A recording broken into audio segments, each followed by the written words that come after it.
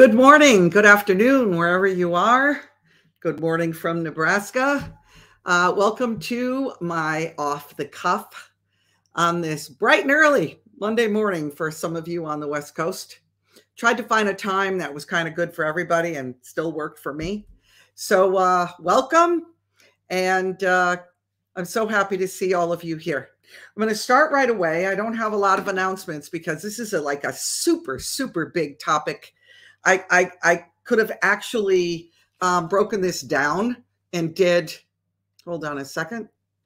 Uh, I could have broken this down and did um, one section, an entire show, but I, I tried to cram it in.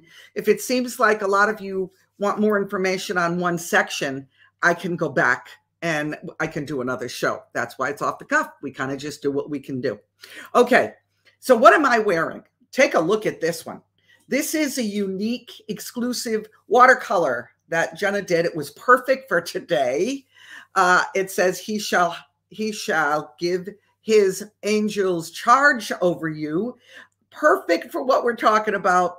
It is absolutely gorgeous. I can't even tell you enough. In person, it's like one of those things that just like stops people in their tracks. Beautiful, beautiful tea. There's all kinds of watercolors. The one that says faith, hope, love. So go to joyandcountry.com. Uh, that's one of the ways that helps us do the gatherings that uh, was prophesied by Kim Clement that we're in the middle of doing right now. We're over two years in. Um, and I'm number 12. So whatever you can do, go to joyandcountry.com. Help us out. Uh, Jenna also said, because she's the one that put it up, it's part of our watercolor collection. So if you look in the collection of watercolor, you get a lot more inspirational watercolor, angel wing tees, and colorful designs. Um, lots of new styles added for spring, hundreds of products in our clearance section, up to 65% off. That's that. I'll, I'll remind you at the at the end again. Um, and those who help me remind me to remind you. All right, good. Um, the links in the description for this. Um, also, it's in Delora's Closet. It's in Watercolor Collection. And if you go in the description, you'll get uh, uh my Rumble channel, all of their social media platforms. Remember, uh, OTC, we call it, not over the counter, off the cuff, uh, is on uh, Monday, Wednesday, Friday at noon Eastern. Fab Four is on Rumble at Friday at 6 p.m. Uh, Eastern. And then our weekly online church service. Wow, what a time we had last night. If you have a Rumble channel, go to my uh, go to Dennis and Delora, the gathering, and look up the gathering at Solomon's Porch last night at 6 p.m. Eastern every Sunday on Rumble. Uh, it was quite a time. It's called Desperate uh, Times Call for Desperate Measures. Okay. So let's let's get this party started, as I say, and Sean says every week. Um, I laugh when he says that. I say that because I'm from Massachusetts. We used to say that more than uh, you know a saying or a song or whatever.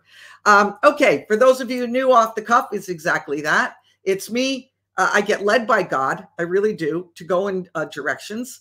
I'm not sure what directions to go in until the day before. And then I work on it and I do the best I can. And um, it, it depends if it's something that is really, really important, like I'm going to do a deeper dive into Antarctica. I got so much stuff. So I'm either going to do that Wednesday or Friday of this week. Um, and we're going to go even deeper in it and, and talk about the, the entities and stuff that are there. I think it's maybe a good one to follow up even on this. So, okay, what is meant by the unseen realm? Uh, obviously, it's anything that are not is not seen with our physical eye. Okay, that's the spirit world. Um, uh, our our Creator spoke both into existence. God spoke the seen realm and the unseen realm into existence. Now, for those of you that aren't into um, scripture or whatever, I'm going to use that for those that are, as I am.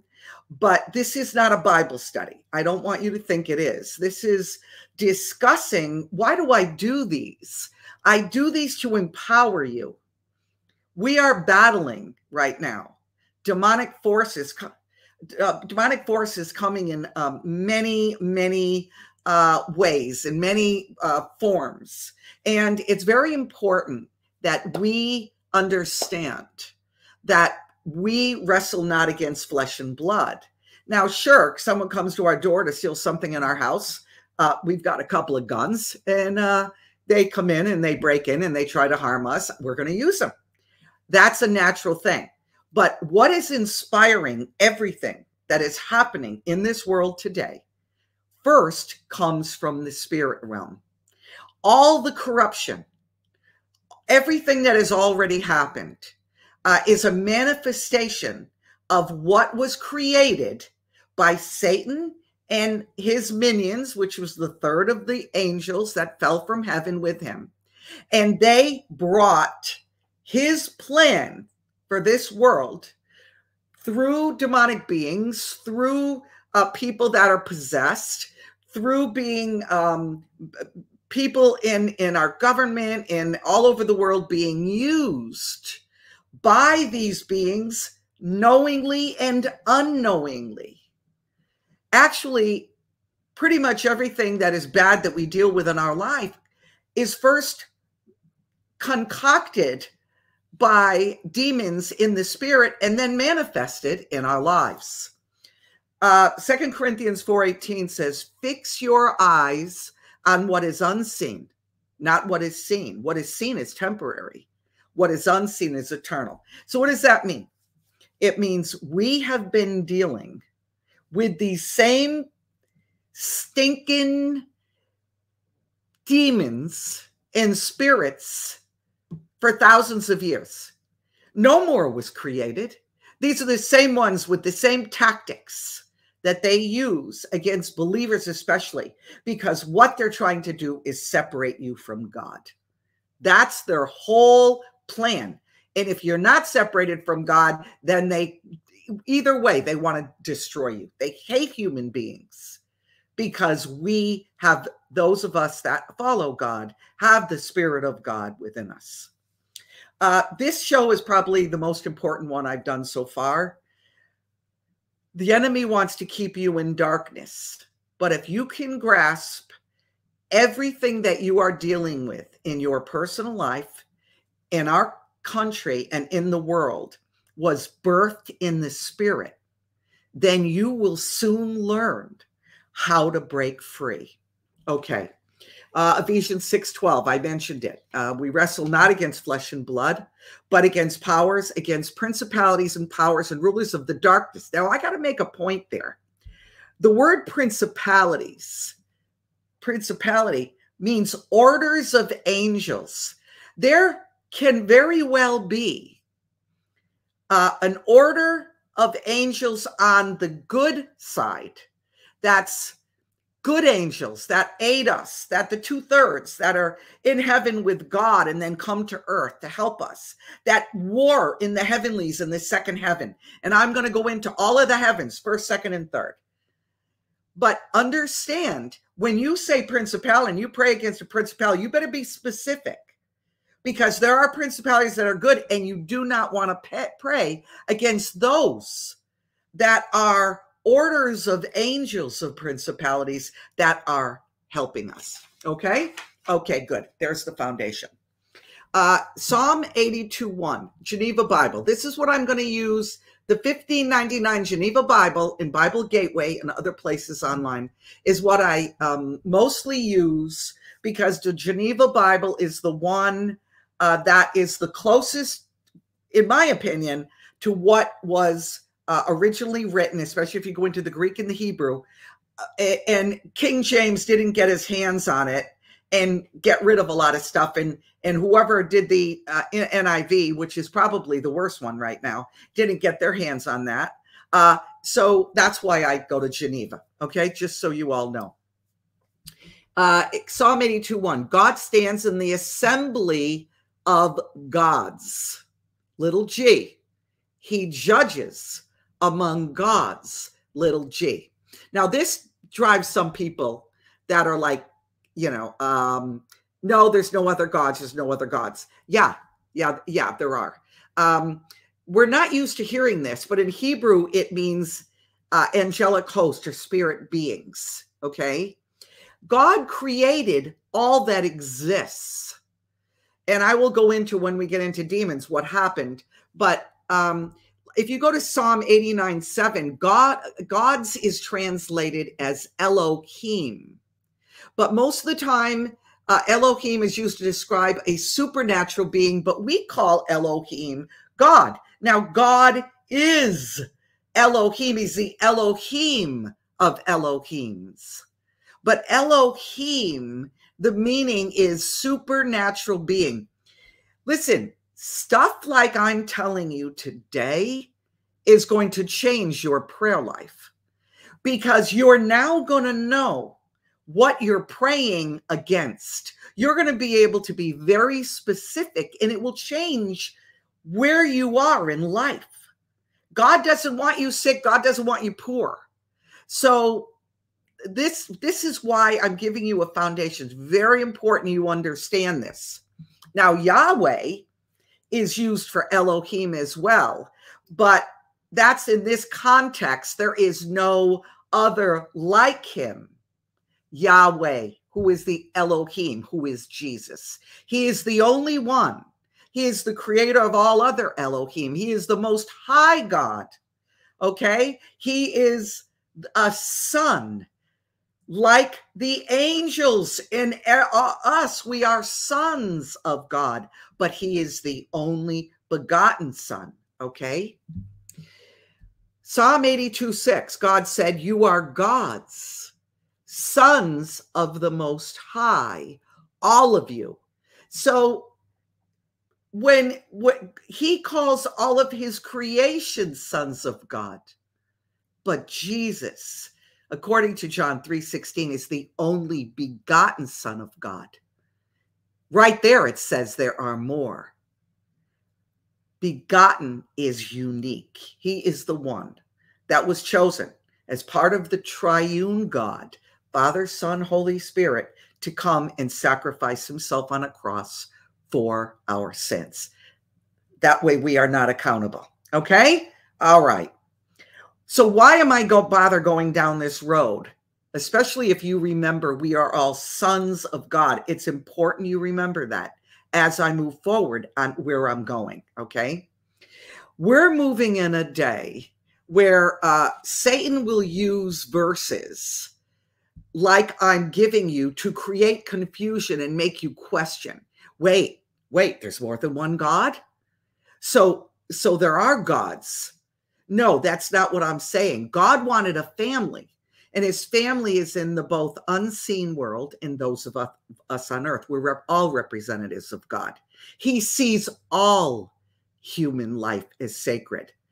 But the world isn't like he began it. Man, men fell into darkness. I'm not going to go into that. Uh, but he wanted to share one of his attributes, which is pure freedom he wanted to share that with his creation. He didn't want them programmed, all of us programmed like robots. So let's look at the origin of his intended family, seen and unseen. Okay. Supernatural beings he created. That's all different kinds of angels. Um, I, you can go you can go through the Bible, name all kinds of cherubims, seraphims, warring angels. I'll go through some of them here, but, but you know, worshiping angels, they fly around the the throne and cry, "Holy, holy, holy." There's many, many different angels, but remember, you never pray to an angel. An angel is the only one you pray to is God. An angel is a created being as us. The difference is God uses them in times of war to battle, uh, like Michael and his angels uh, fought Satan and his angels in Revelation 12, where it says Satan and the fallen angels were defeated and ultimately condemned to hell in Matthew 25. So there are angels that are messengers there are angels that are warring angels. But God cast Lucifer, Satan, now known as Satan, and the fallen angels to earth. So, what are the demons' ultimate assignment? What does Satan want to do. Why all of the craziness in the world? Why is the world in an uproar? Why is what is the bottom line? It's not money for him. That's how he tempts others. He can't use money, he's a spirit. So, what is it? It's to lead the world away from God and into sin. So, how does he do this? He possesses people in the physical realm, not him personally. Demons, it's like uh, Jesus. Jesus cast a legion of demons out of someone, and he sent them into pigs. These are demons that inhabit who you are. Now, a demon's not going to go near you. If you are God's, he will oppress you but he can't possess you because you already have the spirit of God within you. You don't want to go near that spirit. You don't want to go near Jesus, but he will use things to oppress you, things in life. If you've got anything, uh, you've got a, a, a, habit, that's a little hook he'll use. You've got a uh, something from your past that you didn't get healed from. That's a hook. He will use that. So he possesses people to cause them others physical and spiritual harm. He blinds the minds of unbelievers. He will blind them. I have unbelievers in my life. They cannot see. Literally, they cannot see what I see. They think, oh, that's just her. No, my spiritual eyes are open like this. Everything to me is spiritual. Everything I see is spiritual. Every movie I watch, TV show I watch, everything people say, I think of it as a spiritual thing. So he blinds the minds of unbelievers. He promotes false doctrine. There are a lot of false prophets around that seem very supernatural, even have supernatural signs, and it's used to deceive people uh, deceiving people nationally in our country and internationally. And then he uses demons to torment believers. That's what I said. Uh, so how do you fight this? I'm going to do a whole show on the arm, uh, the the full armor of God. That's in Ephesians Ephesians 14. Go read about it. I would suggest you go to Ephesians 14 and you can Google or whatever you use uh, Ephesians 14, Matthew Henry commentary. Very good. I love the Matthew Henry commentary. They're not crazy, wild-eyed, just very. They break it down into Greek, and uh, you can you can get a lot of information out of that. So, but I will do one on the on the uh, arm, the whole armor of God. So let's veer now. Let's go. What is an angel? A good angel, not a demonic angel. An angel that is still serving God and still serving and our messengers and those that are helping us, helping mankind. They are mentioned many times in scriptures. Um, their their home is heaven. They do battle those that are warring angels. They all have a job, just like us on earth. They have a job, what they have to do. Some of them delivered messages, like uh, the the messenger that came to Mary and said you will be uh, she will be overshadowed and you will have a child and and he will be the savior that was a messenger okay i've had several of those in my life and i will explain those to you i'll give you testimony of that for those have not who've not heard it um, they watch over us uh, like God's watchmen. Uh, there are, like I said, some of them are warriors, some are worshipers. Um, really, some were just created to sing holy, holy, holy around the throne of God. Psalm 91, he will command his angels concerning you. That's why I love this t-shirt so much. He shall give his angels charge over you. I love wearing stuff like this. It empowers me. So, why aren't they taking care of everything when we pray? Why are we still in the middle of this craziness that's going on in the in our country? If you read in Daniel, I'm not going to go into that. He'll go in the book of Daniel, where Daniel prayed and he prayed and he fasted for three weeks before it got an, an answer through from an angel. And he said, What took you so long? Look, look what's going on. Things were crazy. The angel said, I had to battle to get through to you, to get through the second heaven. There was a war going on. He came from the third heaven with an answer from God. He had to get through the second heaven to get to Daniel. That's why I didn't get here. That's why it took me three weeks. So let me tell you a very interesting couple of interesting stories. Uh, if you've been watching me, you know I was an atheist. I mean, staunch. I wasn't like, hey, you're okay, I'm okay. I'm like, you're wacko. That's that was me. When I, Jenna, who does Joy and Country, and many of you have seen her and know her, our daughter, our second oldest, um, she was like three, two and a half years old, three years old. I had my son was like two months old in a, or three months old in a um a, a stroller. Uh, my mother, we lived in California. My mom and and uh, Dennis and our oldest, who was uh, five, Jenna, and our baby, we were at Disneyland. And what had happened was, um, what had happened was we Jenna, even as a little girl, I mean, she could at, at, at, two, two and a half years old, she was reading the newspaper. Brilliant, brilliant child. What happened was she was um, looking at cards, and my mom was supposed to watch her. And I turned around, and my mom is somewhere, and I said, "Where's Jenna?" Oh, she was right here. Turned around. Long story short, because these are wild stories. Uh, now here I am, an atheist, guys I'm an atheist. We turn around, and what happens is she's gone for like an hour. We had people looking for her. We had, she was, now here we were in Tomorrowland.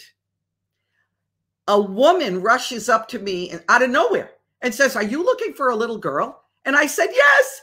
She said, Follow me. I followed her. She was in Frontierland on the other side of Disneyland. A man was holding her.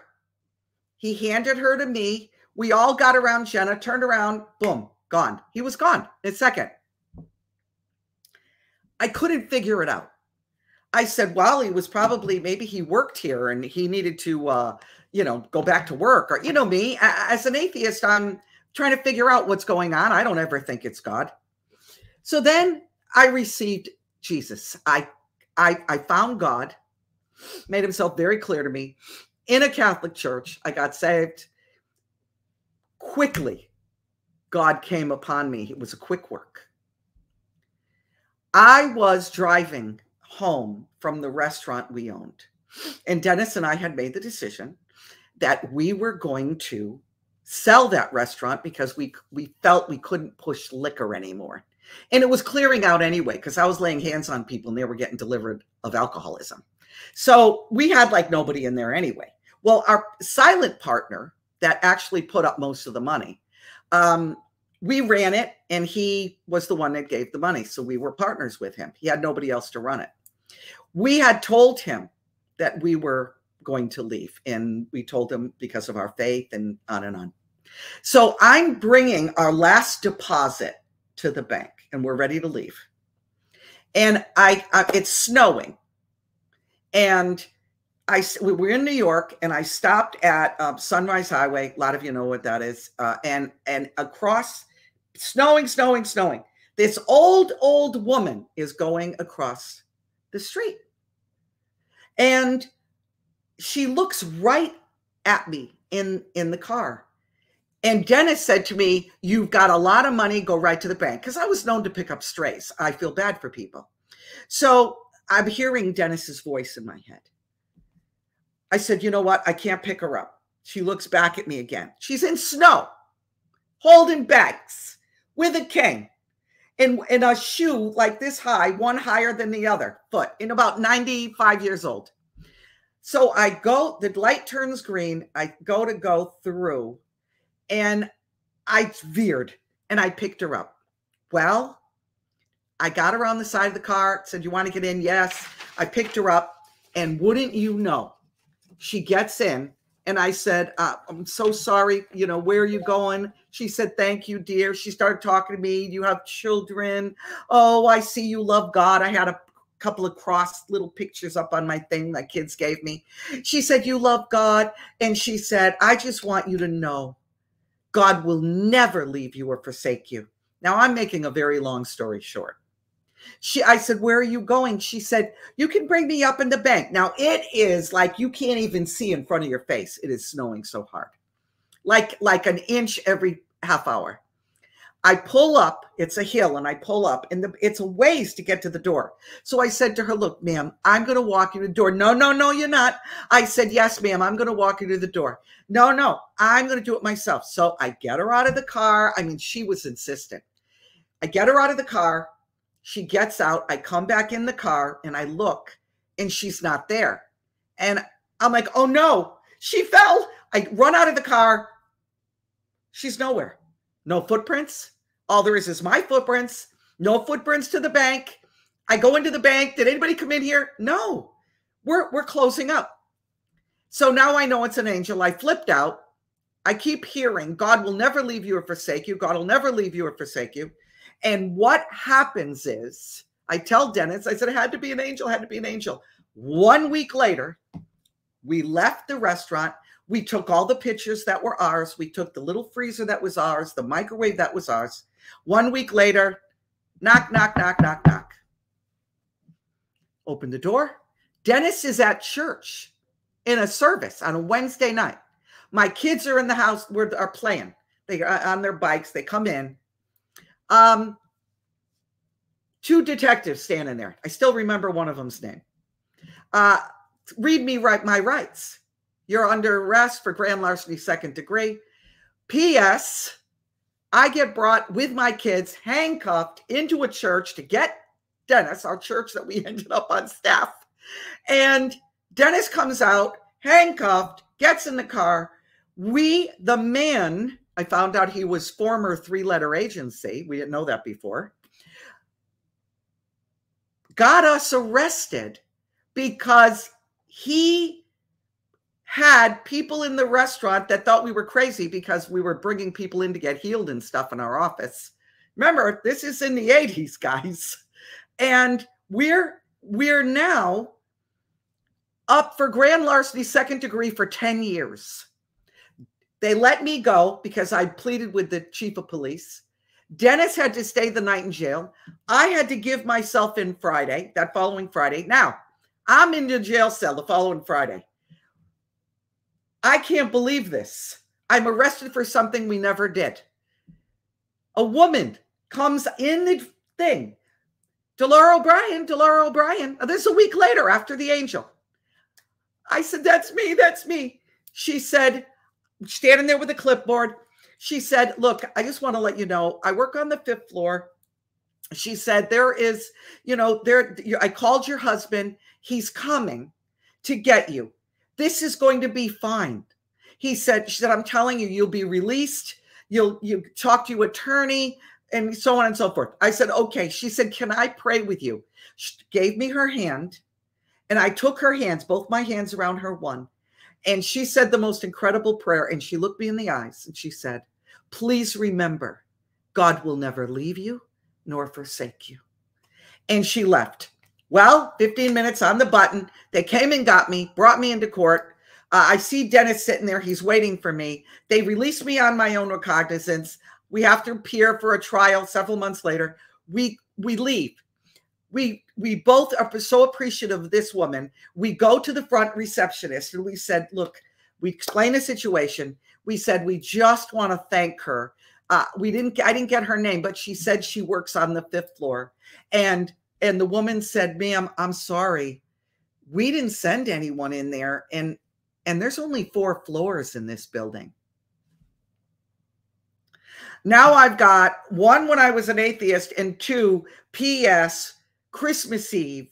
If you want to know how the story ends, not that it matters. Christmas Eve, we get a call from this man, and he says to us, I'm going to do everything to put you guys up. You made me lose so much money. You have no idea. I'll I'll lie, I'll cheat, I'll do anything to make sure you guys. I said, you do know you're falsely accusing us and and that's okay. I want you to know Jesus loves you. He will never he will never leave you. He forgives you.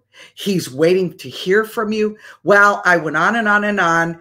Dead silence on the other end. Click the phone hangs up. He hangs up. Two hours later, we get a call from our attorney, who was a born again Christian and head of Cops for Christ at that time on Long Island. And we got him through one of the detectives that arrested us because he knew it was such a sham. He says, screaming, Merry Christmas, Merry Christmas. After I showed this guy the love of God, he dropped all charges. Of course he did. We didn't do it. But this was entertaining angels unaware. People you don't understand. We are living in a complete spiritual realm, but sojourning through this life. The realm of the spirit is more real. We live in a temporary realm, sojourning through this. Heaven is our home. And we are battling forces that do not come from this earth, but are using people from this earth. So I mentioned, we're going to veer now. I mentioned a little bit of this in the Antarctica off the cuff.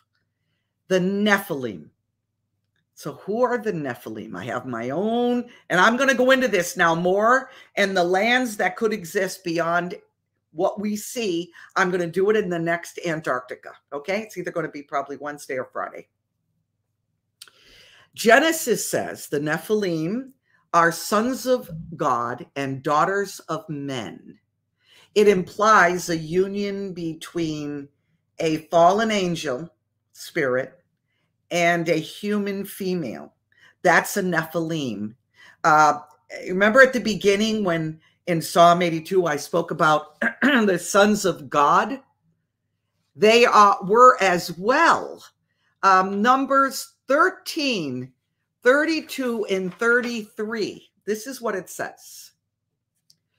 Um, 10 of the 12 spies described the Anakites, a Neph Nephati tribe as descendants of the Nephilim. And there we saw the Nephilim, the sons of Anak, who come of the Nephilim. And when in our own sight, they saw us as grasshoppers. Okay, so they were big. That Numbers was after the flood. I keep hearing, well, there can't be Nephilim. They died in the flood. No, they did not. Either that or here, Genesis 6 4. The Nephilim were on the earth, both in those days, referring, referring to the days of Noah, and afterward. Okay, so now we're dealing with Nephilim. So why are the Nephilim here? They didn't get killed in the flood look, they were half spirit. One of two things happened. I don't have all the answers. Uh, no one does, actually. Um, they tell you they do. The, only thing you know about them is they're lying. So, what are they?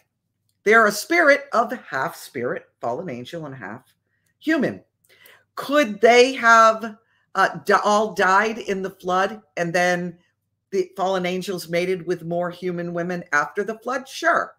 Could it be that because they were half spirit, they could exist in this second heaven? And that would make it more that they were uh, more spirit at that point and they survived? Sure. We are battling them, the Nephilim. I believe they are working out of many places, one of, one of which I believe is Antarctica.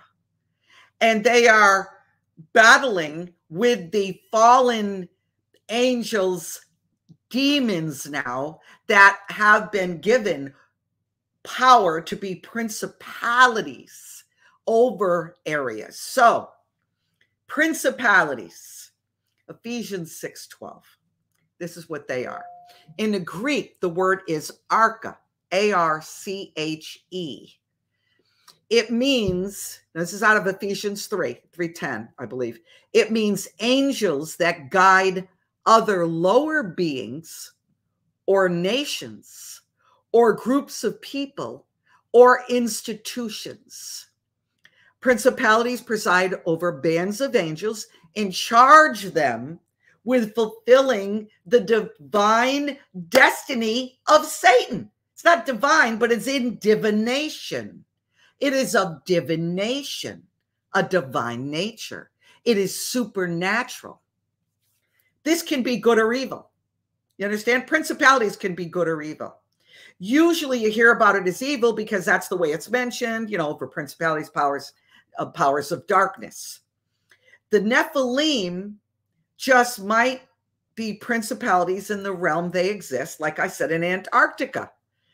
Are they over known worlds, which are us, and in over many politicians that they are summoned to Antarctica, like John Kerry, that on the day Mr. T won in the year 2016, that he was summoned there because they were flipping and it wasn't supposed to happen and they blew it, the humans blew it?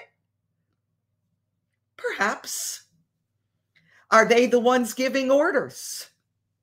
So, like I said, I'm going to do another one.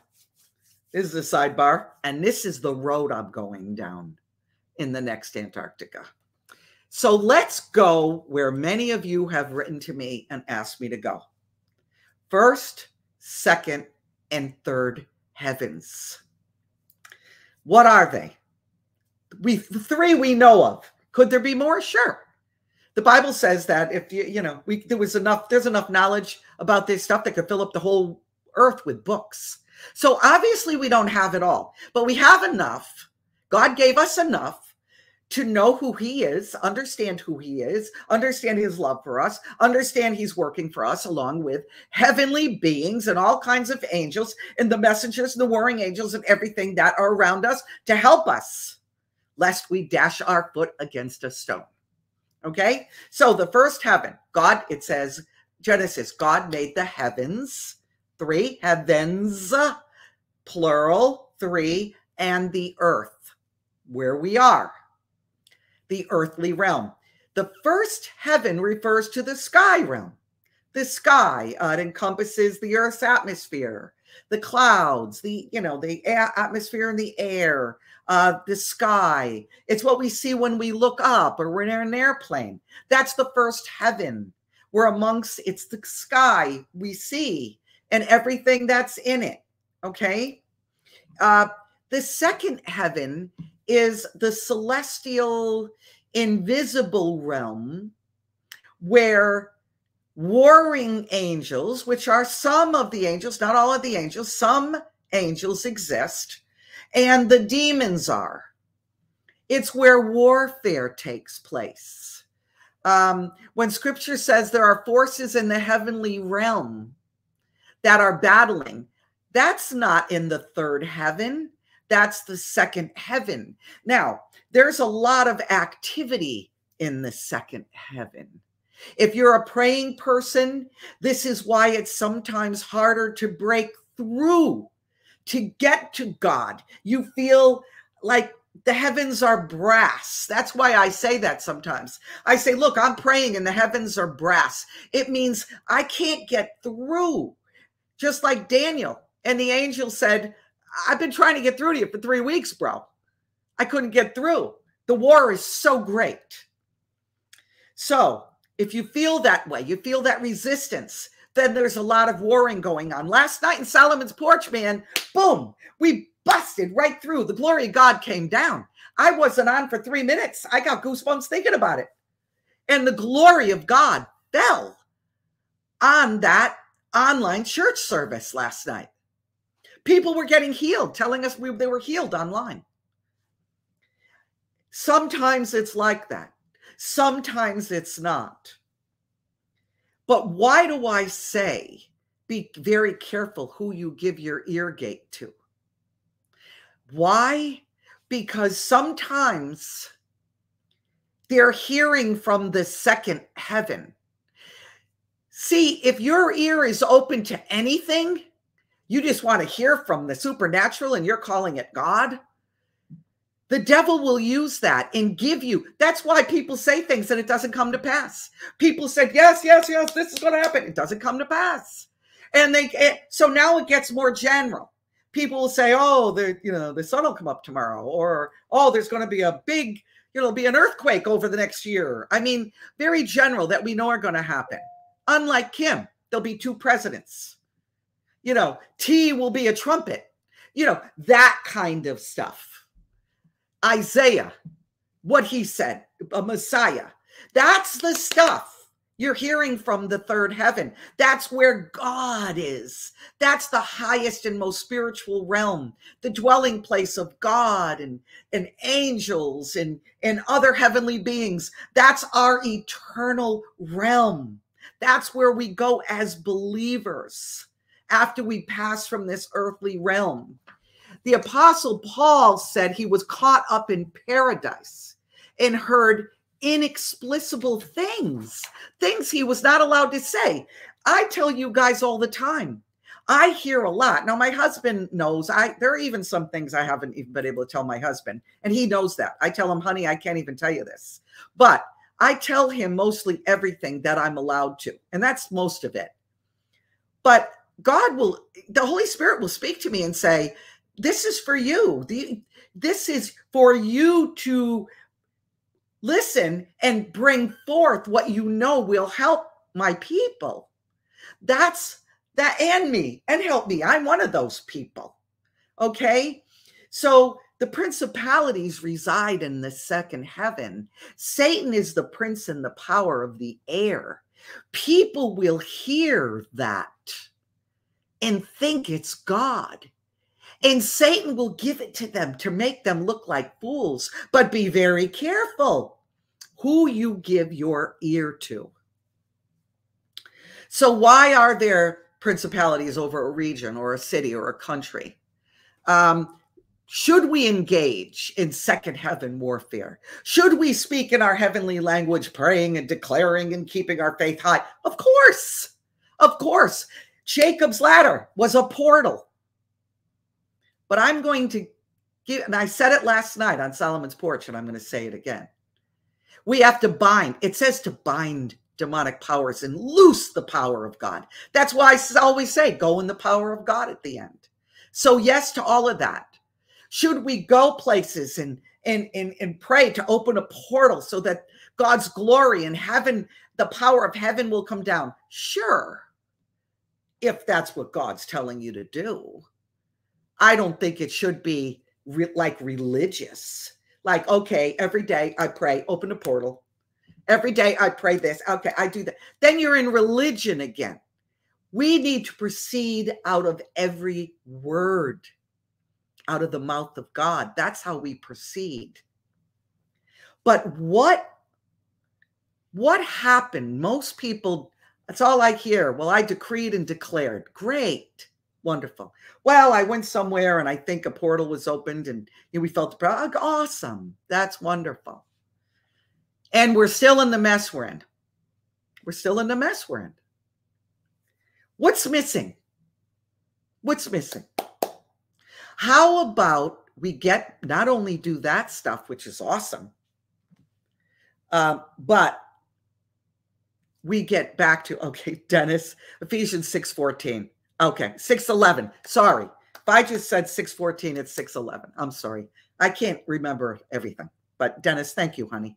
Uh, he's always keep me on track. Thank God for my husband. Um, what it's always good. People, you know, I decree and declare that this won't happen, and it still does. Okay, I, you know, I portals are open everywhere. We're still dealing with the mess. Things are happening. Praise the Lord. Things happen at our gatherings all the time. Praise the Lord. But what happened to the Great Commission of Jesus? Jesus said, this was his this was his commission to believers. Did he say, go into all the world and open every portal you can? And, and go into all the world, march around buildings seven times, and go into all the world and do this and do that. No, you know what he said? He said, it's very simple. Go into all the world and preach the gospel to all nations and make disciples of all people. I was talking to uh, I was talking to Dennis about this uh, yesterday, and he said something, and I said it last night. And he said, "You know what, honey? In my estimation, you want to get a city, uh, a full city saved. Get the mayor saved. You want to get a state saved." Get the governor saved. We have a POTUS, true one, that is that. And because of that, he is doing everything humanly and spiritually possible to veer this nation in the right way. Someone witnessed to him he received the Spirit of God into his heart, the Spirit of Jesus into his heart, because of someone and people speaking to him about God. But we need to bring people to Christ, whether it's through how your your your life and you say it without words whether you walk up to someone when you you you have to look at people differently in a store. Maybe god will lead you to walk up to someone to say you know god loves you. Anytime i've done that more than not people have started crying right there we need to realize that is the that's the strongest way to fight Satan and his minions. If there are 20,000 people in your town and 5,000 are saved, and that 5,000 got another 5,000, that's 10,000. Satan is hightailing it out of there. That is too much, too much for them. So we need, we need to remember that in our world today, Jesus gave a great commission. And that commission should not be forgotten. I don't you know we we take an altar call a lot in our gatherings and also on solomon's porch. We're hoping at some point people will say to us and write to us hey i've got five people. I'm sitting with them at Uh, in front of my tv it's going to be our church and three of them really do not believe jesus is lord I just want you to know that in case God leads you down the road of giving an altar call for salvation. I'm waiting for people to write that to me because they can use us. When you hear my testimony, snorting cocaine every day, smoking pot, five packs of cigarettes, everything you can think of, and into the occult, and like that it's gone. And then three days later, I'm in a class with Michael Brown. Now, now he's Dr. Michael Brown, called Angels, Demons, and Deliverance. That's what's needed.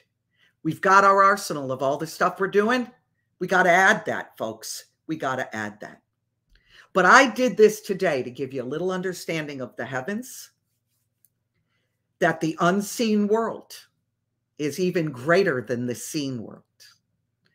It's more powerful than the seen world on this earth. He's the God of this earth. We have to live up here. We have to fight in the spirit. That's how we battle the battle we're saying. And you know, Solomon said there's nothing new under the sun, and that's true.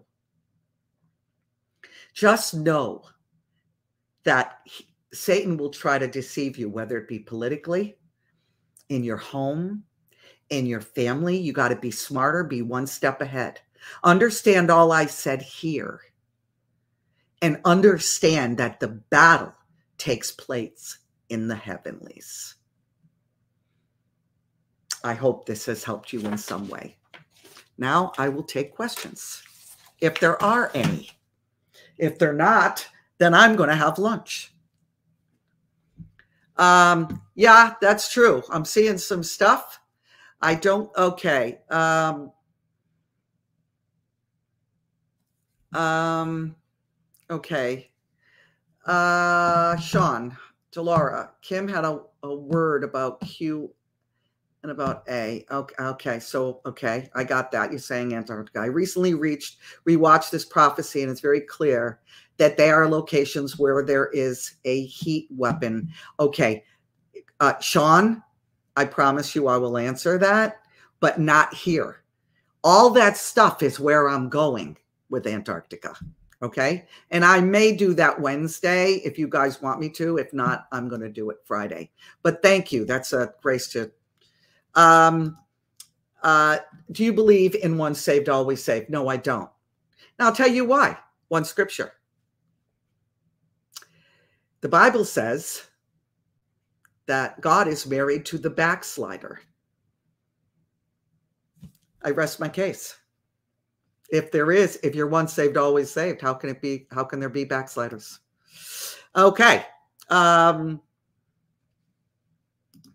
um, Delora, who is your church pastor or leader? You or Dennis? Okay. That's an interesting question. Dennis and I are very make decisions together. Uh, he is the head of our home. That doesn't mean he rules over me. He actually listens to me more than I listen to him. That's our relationship. We've been married a long time. We're happier now than we've ever been. So let's go to the church. I am an ordained pastor. Dennis is an ordained pastor. Dennis is also, I don't go into this a lot because I hate titles. Okay. You can call me Pastor Delora. I don't have a problem with that, but I hate titles. So Dennis is an apostle. Okay. I'm more of a prophet. The apostle and prophet are very powerful together. That's in the fivefold ministry. If you look in the fivefold ministry, Dennis, maybe you can help me here. I'm trying, I'm trying to be nice. Um, how can I say this?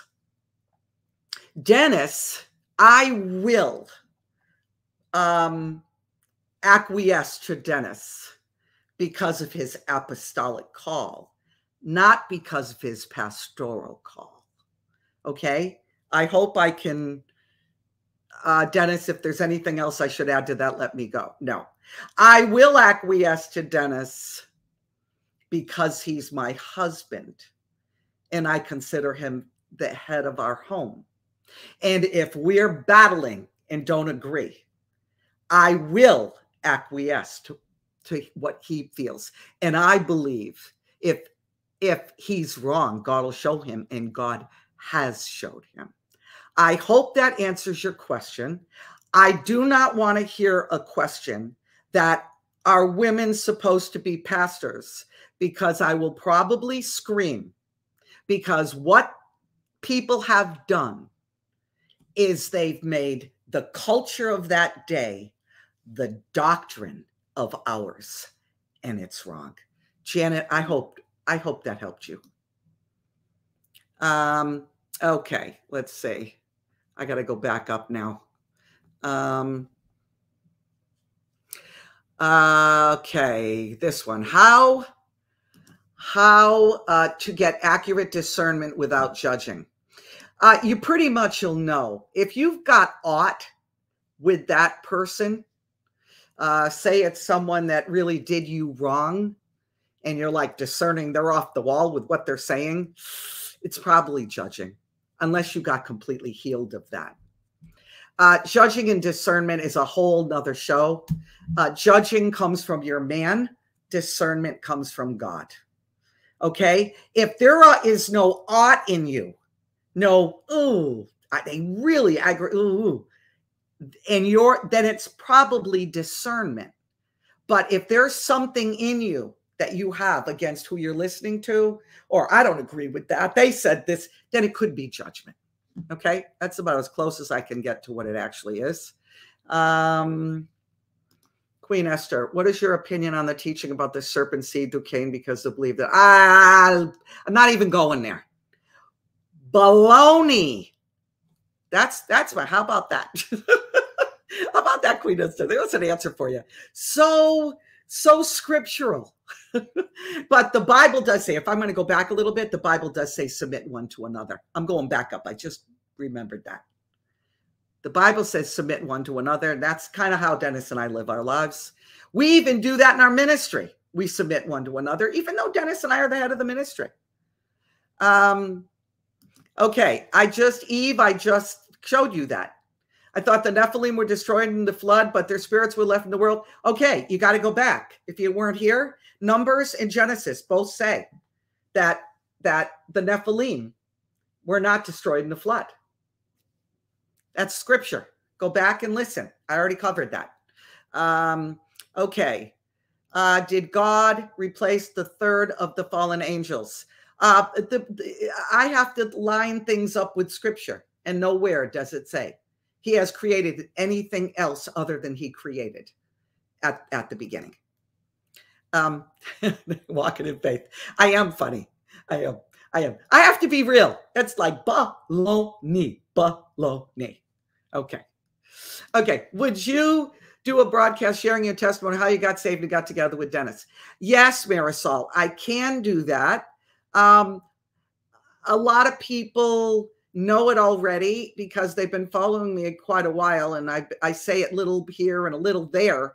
But um, shameless plug in the description, uh, there's uh, our book, Falling into Greatness. And that's what happened to us. We actually fell into it. Um, and that it explains pretty much all of it. But it is a wild story that if I wrote a novel, I our life, if I wrote a novel, I couldn't make up the stuff that has happened to us in our life. It is wild. Um, uh, Caroline Phyllis, I'm not going to go into that. That is going to open up a can of worms that I will um, say another day. Uh, I, I, that's a whole teaching. I can't. I can't say that. How can I do that and and give you a, a an answer? And it's uh, and I got to be honest with you um, it feels a little bit like a gotcha. That's the spirit I'm discerning. So um, I don't agree with that at all. Uh, so I'm not even going there. I'm not even going to give it time. Um, does the Bible say anything about female pastors? Yeah, yeah, that's what I said, Ryan. That in the culture of um, uh, when when this all happened, Jesus came and the first church and everything. Uh, it it it talks. It doesn't.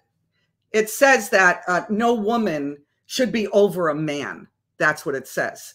But it also said women need to cover your heads. It also said women need to sit alone on one side of the church. Women can't be taught, they have to learn through their husbands. It also says you still need to sacrifice. It also said you know, I could go on and on and on. See, we pick and choose. People pick and choose. So this we have to realize that was the culture of that day. That was um, scripture that moved that church along.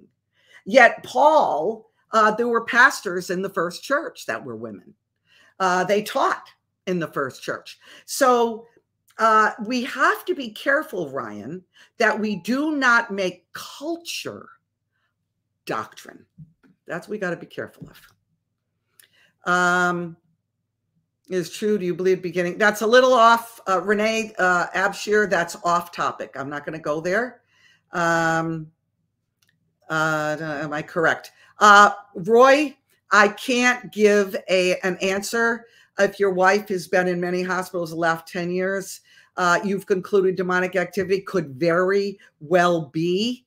Um, and I don't normally give a plug like this, but I know it, it tends to be a little expensive and they do have payment plans and stuff, but you can actually get a brain map.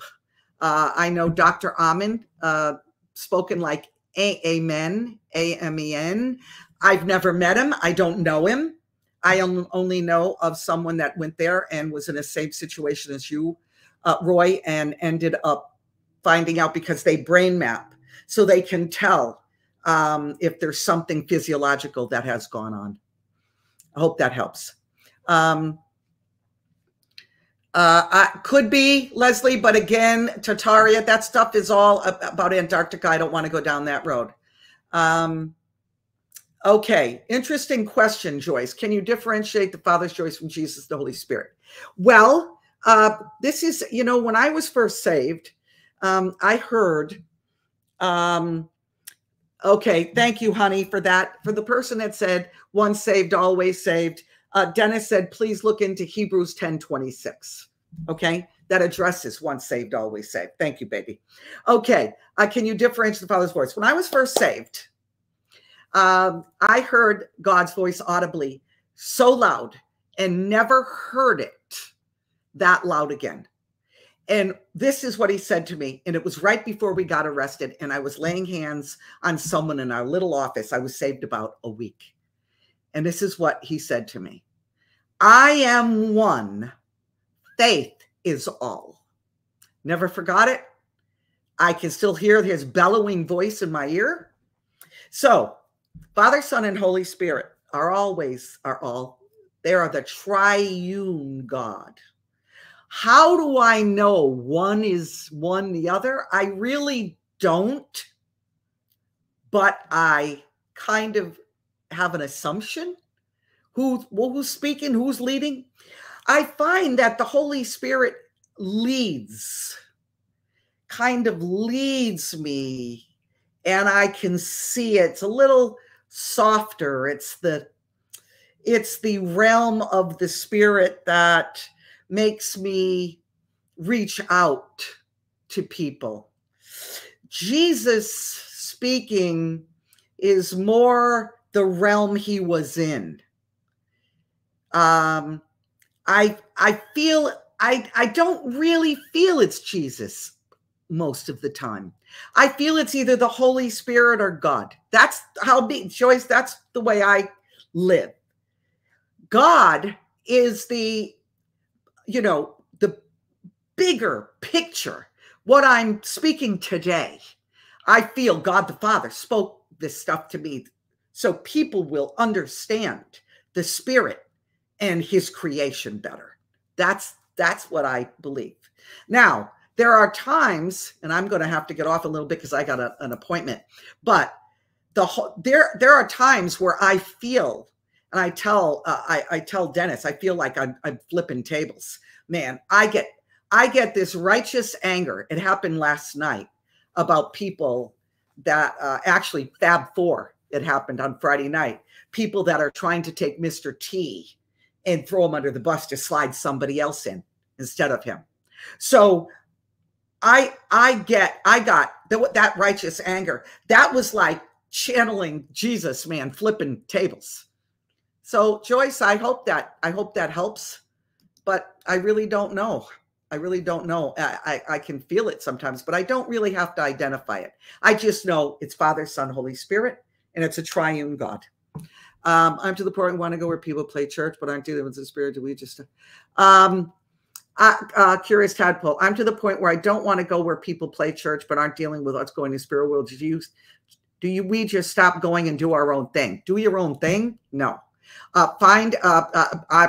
I wouldn't go anywhere they play church, but that's me. I, I can't. I, I get up and walk out. So, um, what would I do? You can join us on Sunday nights. We have online church. There's other some other good people that have online church. Um, I don't want to mention any because then I, I then someone's going to say, "Why don't you mention me? Why don't you mention me?" So I don't really mention anyone ever. Um, but we have a, a, church service for people just like you uh, at Solomon's Porch, the gathering at Solomon's Porch uh, Sunday night at six o'clock on our Rumble channel. So I hope that helps. Do your own thing. Mm. Hebrews said, do not forsake the assembling of, of, of the gathering of people. So that's what we do. We gather people. We have a great chat. What we do. Uh, what's the exact uh, Geneva Bible that you use? There are many. Uh, I don't have a hard copy like I do of my King James right here, but the one online I use is 1599 Geneva. That's with Bible Gateway and stuff. Uh, I just can't use King James very much anymore. I check it now and then. NIV is totally off my list. Um, uh, has been found. Um, many don't know Noah, Noah's Ark has been found. Maybe do a show on that. When I listen to someone that convinces me enough that it was found, I absolutely will. If you know someone, I've everybody I know uh, hasn't convinced me actually, but you can send it to ddgathering at gmail.com. Uh, bless you. Thank you for doing that. Um, okay, let's see what else. Uh, um, Delora Flat Earth brought me to God. Wow. Wow, forever young. Yikes. That's pretty amazing. Is it because of that the devil is lying about it? Uh, that is another whole show as well. Um, I'm gonna have to. I'm gonna have to go down that road. I, I, you know, I really didn't want to. I, I touch on it. Um, I don't want to lose people over it because I I I know what Dennis and I authentically say. I don't I can't trust a lot of other people what they're saying. so I don't want to um, say it, but you know. Um, but yeah, I I, I uh, that's pretty awesome. Forever Young. Uh, Caroline Phillips, if I was incorrect about you, then I apologize. I just think that's a topic that's personal and that needs to be discussed one on one, you can write to me and I will tell you, but not something that I'm going to put out out there because again, I don't really like titles at all. Um, but it just didn't see, it seemed a little off to me. That's all. If I'm wrong, I apologize. Um, uh, um, uh, Margaret, this is not that platform uh, to start praying for everybody uh, for deliverance. Again, you can put that in the chat or write ddgathering at gmail.com. My husband and I will pray for you. Our team will pray for you. But um, that's Solomon's Porch. That's Sunday night, our service. We pray for it all the time. Um, okay. Uh, da, da, da. Um, okay. Thank you. Wow, that's awfully nice to hear, Vinny Doom. Thank you. Thank you for that. What a, what a sweet thing to say. I hope I hope people hear me. Um, if God created X amount of angels and they cannot reproduce, how then did the angels come together with women to make the Nephilim? Because they did. because they did. How do I know how? They did. The word said they did. They did. Uh, they exist. They're here. Pretty obvious. I don't know. How do I know how it happened? I have no clue. Uh, God created X amount. Nowhere does it say he ever created any more. If anybody says that God, he knows God created more, please tell me, because then I would be, I would know that then, because I don't. I don't know where God said he created more. Maybe I'm wrong. Okay. Um, couple more. Uh, address what's going on in France with your first family. I uh, don't want to say too much. Um, uh, yeah. Yeah. Okay. Can you, uh, about the France thing, can you write to me personally, ddgathering at Gmail? Thank you. Um, and, and thank you for loving the new show. I love it too. I love it too. Um, let's see. Who am I? One or two more. Um, yeah, Sean Allen, I get it. I get it. Don't want to go down that road, but yeah, yeah, I get it. Um, uh, it would be great. Okay. Um, a, a, lot to discuss. Blows our imagination. God is fascinating and amazing. Yes, Marisol. I'm going to. I really am. I, you know, and I, I got to be honest with you guys. Let me just, and I'm going to probably end with this. Um, I'm going to end with this right here, guys. I'm sorry. I'm not going to do any more. Um, let me tell you why. Let me leave that up, Marisol's. Uh, God is fascinating and amazing. Yeah, he really is. This is my problem. And please hear my heart. I have a very hard time saying this, but I'm just me and I'm just honest and I can't be anything but. Doesn't matter if I've got two people watching or 25,000. There are people who question everything else I teach and what everything else I believe and everything else I found to be true because I question the shape of the earth. They disregard everything I say. They disregard miracles that have happened in our midst. They disregard that I, my husband and I serve God at the expense of us, guys. You don't understand what this cost us. No one knows. I can't even go into it because I'll start to cry. So when I go down that road, Marisol, I lose people. I lose friends. I lose people that I worked with for many, many years that now think I'm crazy. They're that, they're that under that programming that much. They can't see it. And they're great people. And they see a lot of the other things, but they cannot see that. And I don't have a problem if they can't see it, but they don't even question it, even with who NASA are. So I'm careful. I don't know if I want to do one just on that, but I will touch on it again um, when I do Antarctica. And Karen, you made my day. Delora, the explorer. that. I'm leaving that up. Delora the Explorer. For those of you don't know, there's a cartoon Dora the Explorer. Delora the Explorer. Thank you, my friend. Yeah, that that made my day. I'm gonna take it down. All right, guys. That's that's the end of it. Um, I'm hungry. I need to eat.